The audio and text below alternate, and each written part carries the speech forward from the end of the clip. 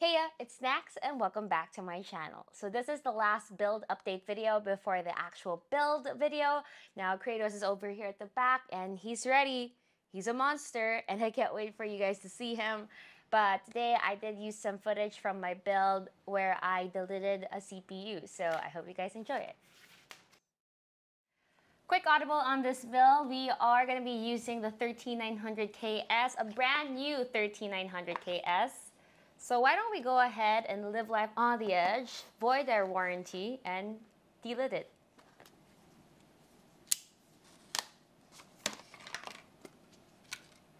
So if you're using a 12th gen CPU, you see these screws, you leave them in.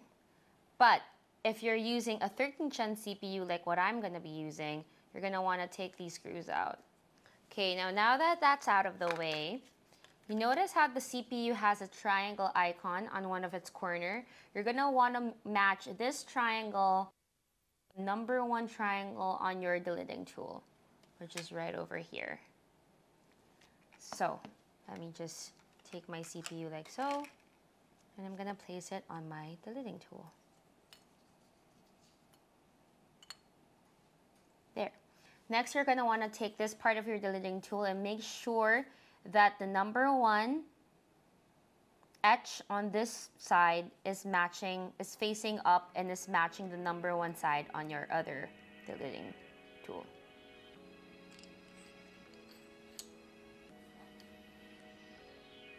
Okay. Lastly, we're gonna screw it in. Now you're not gonna wanna screw it in firmly, but not tightly. So just a little bit right there. So now what we want to do is we want to loosen up the adhesive by putting heat onto it. So you could use a hair blow dryer or a heat gun. Um, we're just going to do it the way they did in EK's video and we're going to place it in an oven at 155 degrees Fahrenheit for half an hour. You want to taste my special recipe for a delidded CPU? Mmm, yummy. Okay. Alright, so I just took it out of the oven because it's been about half an hour. So now all I'm to do is I'm to screw it all the way in.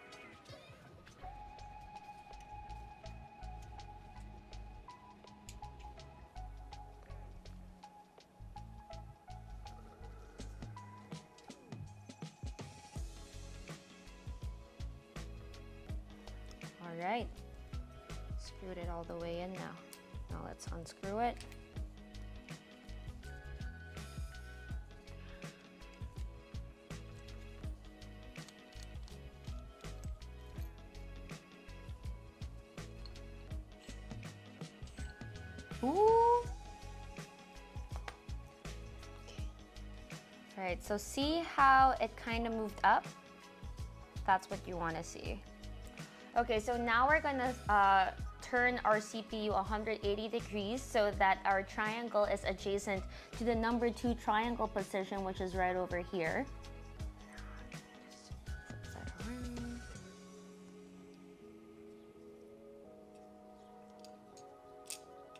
So because this is really important, I'm just gonna say that one more time. Um, you always wanna make sure that the triangle on your CPU always matches the triangle on your slider. It, if it doesn't match up, you could potentially screw up your CPU. So here, just one more time, you see how the number two triangle is over here and the CPU triangle is right over here? You wanna make sure that lines up. You wanna quadruple check that. So, okay, slid that in perfectly and now we're gonna so essentially what you're doing is you're moving the IHS back and forth and loosening it up. So look how easy it is and that's because we've already loosened it up. Now we're just gonna do this a couple more times and make sure then there shouldn't be that much resistance on it. If you guys can uh, feel resistance, make sure you guys aren't threading your CPU.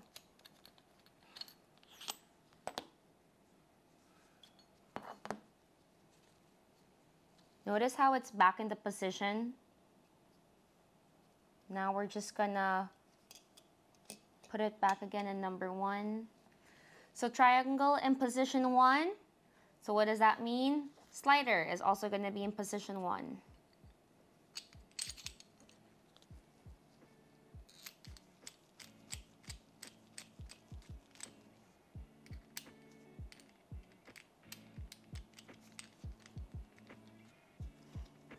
Again, smooth like butter. Practically no resistance. Oops.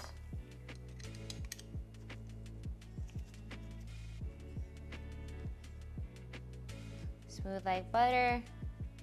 Taking it off again. So, I believe we're about four or five passes through. Let's just do one more.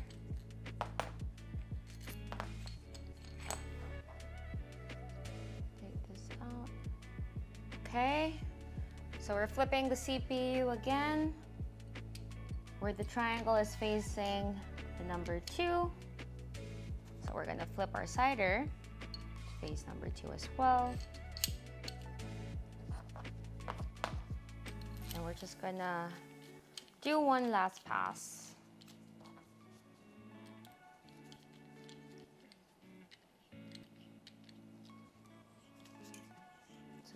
Smooth like butter, pretty much no friction.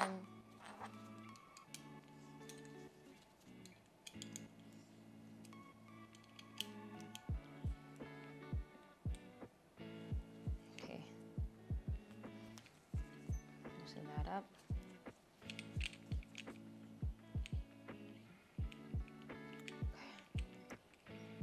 So what we're essentially doing is just we're we keep moving the top part of the CPU, the lid of the CPU up, down, up, down, up, down. We're kind of shimmying it out of there. We're shimmying out the lid.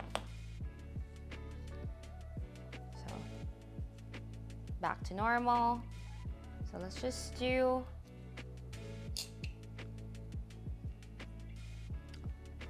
the number one pass again. So triangle, number one, flipping the slider to where the number one is facing us.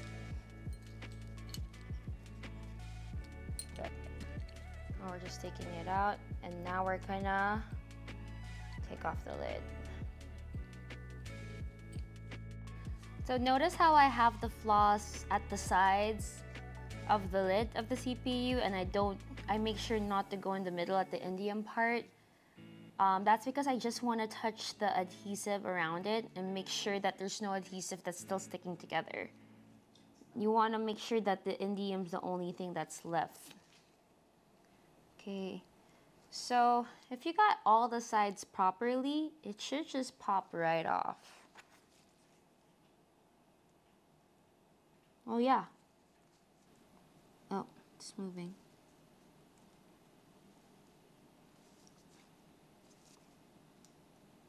Oh, yep, it's done.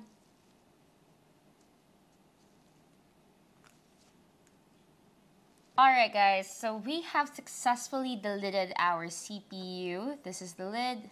It's gone. It's off. Next step is we're to clean it all up. Okay, so I squirted some liquid metal on the indium. We're to clean that up. Let's just add a little bit more.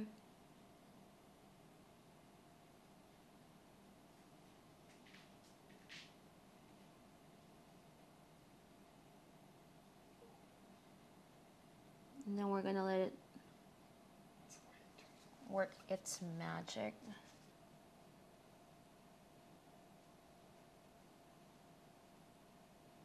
There. I flatten it up a bit.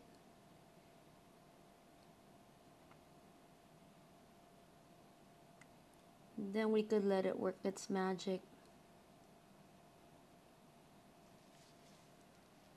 Okay, so we're just gonna let that sit in and oh, by the way guys, you wanna make sure when you're doing a project like this that you don't use a towel because you wanna avoid the static that comes with the towel. I do have an anti-static spray around here and which I use on this towel, so I'm pretty confident that there's no static.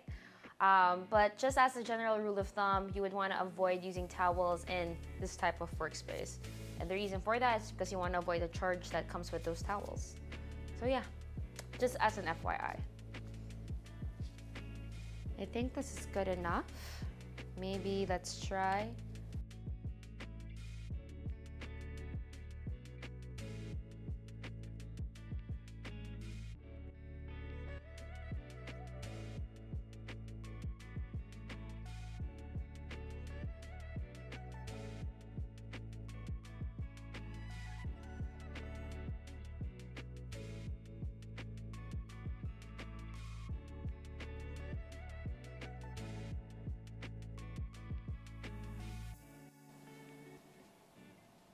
making some progress, albeit it's slow.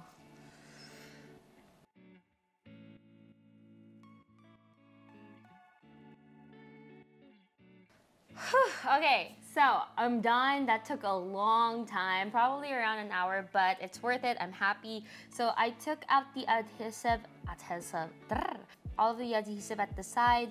Now you guys may be able to see some indium stains on the die, but that's okay. It's normal as long as the surface is flat and smooth and you're good to go. But I'm actually gonna polish up the die a little bit to get that mirror finished, so let's go do that. What's up you guys? It's a new day. So yesterday I had a bit of a slight hiccup. My camera died on me and I didn't even notice because I was so intent on cleaning up my PCB. But you guys didn't miss much. Like I said, all I did yesterday was clean up my PCB and I even cleaned up the die so that it has this mirror-like finish to it. So this is what it looks like. So now we're gonna install the kit onto the motherboard.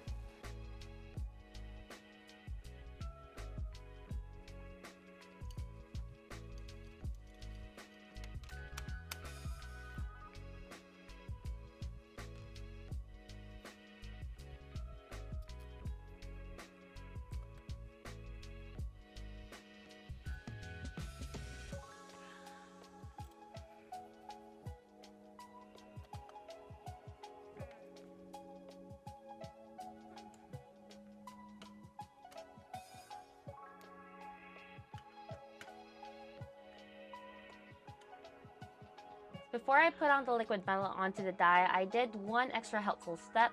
So I used normal thermal paste as a test to accomplish two goals. One is to make sure that the block makes good contact with the die, and two is to use the imprint as a guide to mark off where the die makes contact. Once I mark it off, I clean up the thermal paste and add the liquid metal.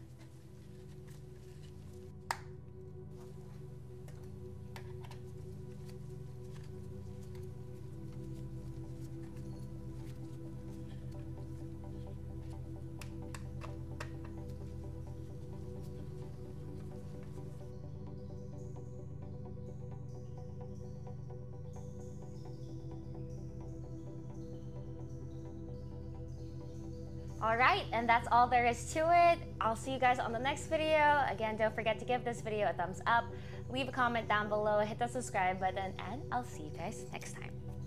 Bye-bye.